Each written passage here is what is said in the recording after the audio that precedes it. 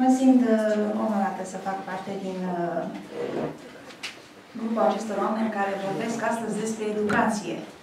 Mai uh, bine zis, s-au oprit uh, asupra subiectului care a strânit o reacție categorică, uh, strategia educației naționale, care, așa cum a spus uh, domnul uh, Daniel Mazilu, a le-a adus celor care au postat-o milioane de prieteni. Trăim vremuri de concertante și parcă această strategie uh, vine uh, cumva să sublinieze dimensiunea acestei uh, degringolate, acestei strategii a atacului asupra categoriilor fundamentale, binele, frumosul, adevărul, sentimentul sacrului, Sigur, în funcție de timp, acestea suportă anumite nuanțări. Pot uh, suporta uh, o lărgire a sferilor semantice. Dar uh, ceea ce se încearcă astăzi este chiar o ambiguizare care duce chiar la pierderea sensului. Duce la o dinamitare a ceea ce reprezintă specificul nostru național, a ceea ce uh, reprezintă răspunsul firesc la întrebarea cine suntem, ca oameni, ca familie, ca popor.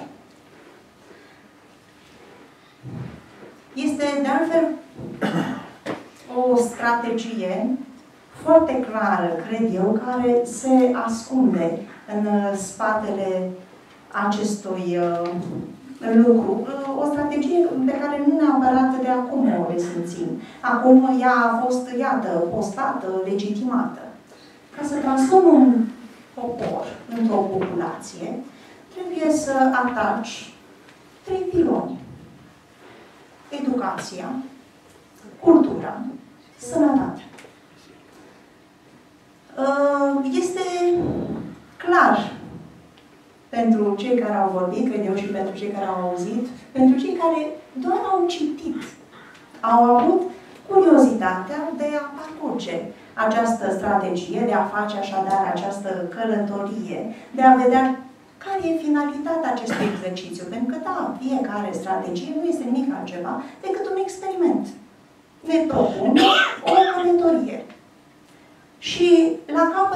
ce aflăm? Că profesorul nu mai e nici pe departe un mentor, o călăuză spirituală. El este redus la un birocrat, la un funcționar. Um, parcă se încadrează în portretul acesta în care uh, tentaculele politicului au ajuns să pătrundă orice sistem efectele le simțim cu toți. Dacă profesorul nu mai este mentor, nu mai este călăuză, atunci produsul profesorului care este? Da? Elevul, studentul. Îi scoatem cum? Păi fără conștiință. Îi scoatem uh, oameni de plastilină, uh, lipsiți de atitudine și când mă refer la atitudine, uh, nu iau un uh, calcul neapărat uh, atitudinea de frondă. E încă mult prea prezentă în uh, societatea contemporană. Iau un calcul valori precum uh, buna cuvință. Iau uh, în calcul valori precum uh, toleranța, dar sigur, toleranța despre care de altfel a vorbit uh, și antevorbitorul meu, nu aceea care înseamnă uh, vecină obedienței. Nu despre aceasta este vorba, ci toleranța aceea care înseamnă că accept dialogul, pentru că finalitatea, cred eu, că este aceea de a ne ridica amândoi. Te ridici tu, pentru că eu am avut răbdarea. Am tolerat lipsa de consens dintre noi doi cu scopul de a te face să înțelegi anumite categorii fundamentale, cum spuneam, adevărul, binele, frumosul, sentimentul sacrului. Nu înseamnă că sunt tolerant, pentru că accept ca tu să îmi prezinți uh, această nouă ideologie, care de fapt nici nu este definită. Noi nu știm cu ce au venit. Dar știm că au în față verbul la forța. Cred că tocmai uh, am traversat niște decenii care au dus metodele de coerciție până la extrem și am văzut care au fost rezultatele. Nu cred că metodele de coerciție vreodată vor avea efectele pe care ar trebui să și le propune o educație. Pentru că educația, dacă îi scoatem componenta etică, educația lipsită de uh, fundamentele morale, cred eu că, într-adevăr, este desemantizată, este devalorizată. Finalitatea unei astfel de educații, sigur, nu are nicio legătură cu omul, duce categorii la dezumanizare, nu are nicio legătură cu familia, familia creștină, aceea care de mii de ani ne-a transmis niște valori. Și nu are nicio legătură cu specificitatea noastră națională. Această temă a fost de când, de când dezbătută. Uite, să ne ducem la Titu Maiorescu, care spune atât de simplu, da? Teza lui. Lupta împotriva formelor fără fond.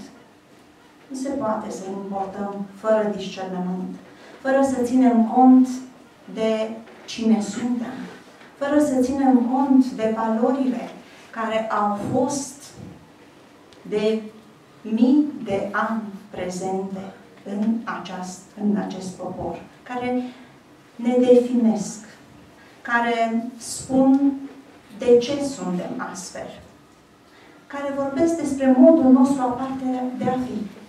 Ne dau un modus vivendi identitar. Dacă nu știm cine suntem, atunci ce educăm? Cum educăm? Și pentru cine educăm? Iată niște întrebări pe care ni le ridică această strategie, această călătorie, care, din păcate, nu ne arată destinația.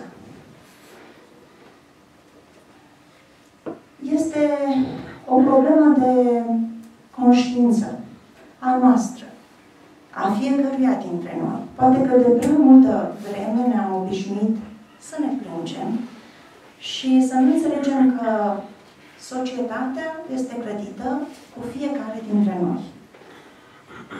Haideți să fim schimbarea pe care vrem să o vedem în lume. Așa cum am aflat, da? S-a construit acum un Consiliu Consultativ unde există oameni valoroși și președintele Academiei și teologi. Este cazul ca fiecare dintre noi să ne exprimăm să spunem de ce această reacție, ia uite, de milioane da, de oameni, această reacție fără precedent, categorică. Pe ce se bazează ea? Care ne sunt punctele de vedere? Ce vrem să facem cu tinerii noștri? Cum putem să-i ajutăm? Ce înseamnă educația românească? Pentru că nu putem, dintr-o strategie națională, să scoatem național nu este firesc. Atât am vrut să vă spun. Mulțumesc!